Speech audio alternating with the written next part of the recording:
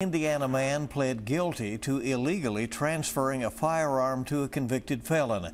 Investigators say that gun was later used to kill Russell County Sheriff's Deputy Josh Phipps. That shooting happened back on September 16th. According to court documents between November and January of this year, 41-year-old Sean Michael Kays transported and transferred the gun to a convicted felon.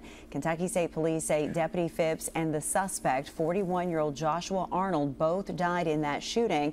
Prosecutors say Kays was not involved in the shooting. He is scheduled to be sentenced in February.